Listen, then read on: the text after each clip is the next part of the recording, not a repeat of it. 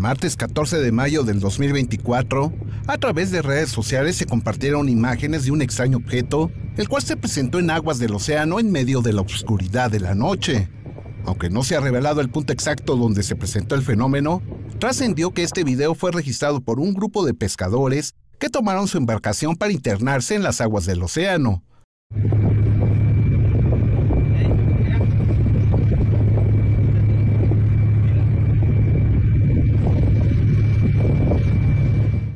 Para una mejor comprensión de este avistamiento, realizamos un gran acercamiento y disminuimos la velocidad. En el desarrollo de esta intrigante grabación, podemos observar que se trata de un enorme objeto rectangular con luces que se distingue claramente en el cielo nocturno.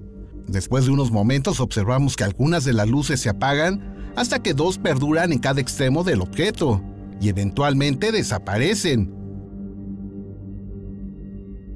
Sin duda, un extraño acontecimiento registrado en alta mar que se viene a sumar a los sucesos que constantemente están siendo reportados por embarcaciones en distintos mares de nuestro planeta.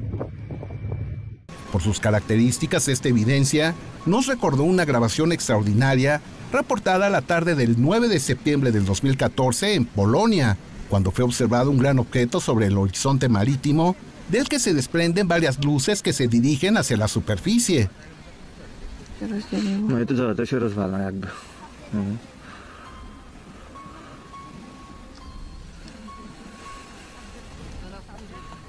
Asimismo, recordamos una grabación de nuestro archivo histórico del 31 de agosto del año de 1994, cuando igualmente pescadores en alta mar se encontraron con una serie de objetos que ocupaban una enorme porción del cielo en una misteriosa formación.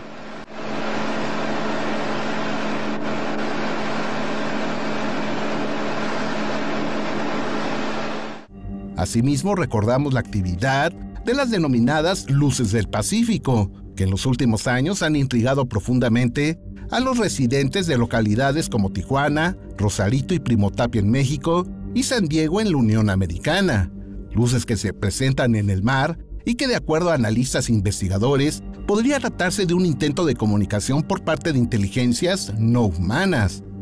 El reciente avistamiento confirma la incesante actividad de extraños objetos en los distintos océanos de nuestro planeta, y plantea la posibilidad de que en las profundidades existan asentamientos desde donde los visitantes realizan en secreto sus misteriosas actividades.